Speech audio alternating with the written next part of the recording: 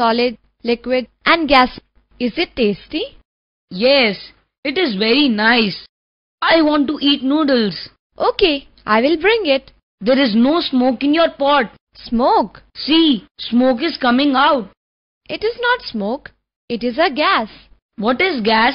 Let me first explain about matter. All things of universe are made up of matter. These are solid, liquid and gas. See here, ice is a solid, water is liquid and water vapor is a gas. What is matter?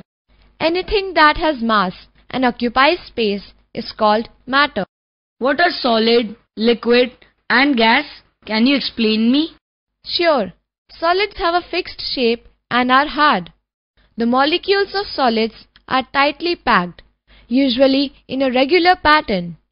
All molecules touch together. They keep their shape unless some force is applied on it. Solids do not flow. Solids cannot be compressed except rubber. Liquids. Liquids have fixed shape but they take the shape of the container in which they are put. Molecules in liquids are loose packed. They randomly move in all directions. They can easily flow from higher level to lower level and therefore are called fluids. Gas. The molecules of gas are very loosely packed that are largely separated out. Gases flow very easily since they move randomly. Thus, gases have no fixed shape and size. They take the shape of the container in which they are put.